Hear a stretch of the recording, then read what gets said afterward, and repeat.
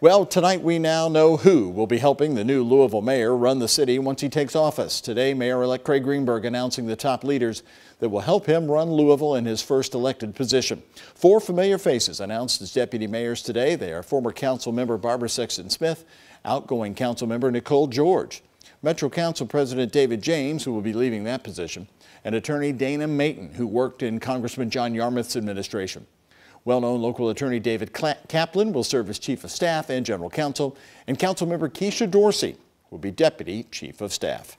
WHAS 11's Isaiah Kim Martinez covered the announcement today, and Isaiah, notably, no chief of police uh, safety on that list, no deputy mayor mm -hmm. overseeing the chief of sure. police or LMPD. You're absolutely right, at least not at the moment. New, uh, of course, Mayor-elect Greenberg focusing primarily on his newly named interim police chief, Jackie Gwinn Villaroel, who will report directly to him. As for the other positions, he took a page out of a previous mayor's book to assemble what he calls a diverse group of experience. As you can tell, this is an all-star team. The last Louisville mayor to name four deputy mayors was Jerry Abramson, someone current mayor-elect Craig Greenberg says he consulted prior to this decision. What was the thought process behind breaking it up into four different specialties in this case?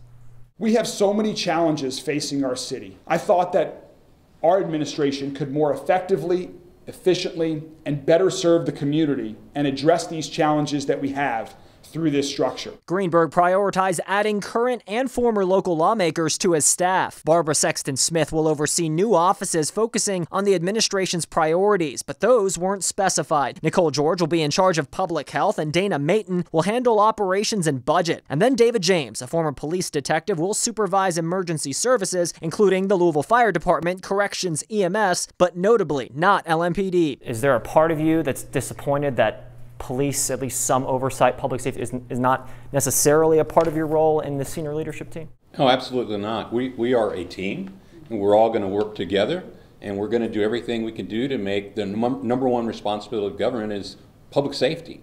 And so we're all working to make sure that that happens for everybody. Finally, we brought the conversation back to Greenberg's campaign promise to move Louisville in a new direction. What would you say to folks who maybe look at, at who's up here today and, and maybe question a new direction with familiar faces, what would you say to them?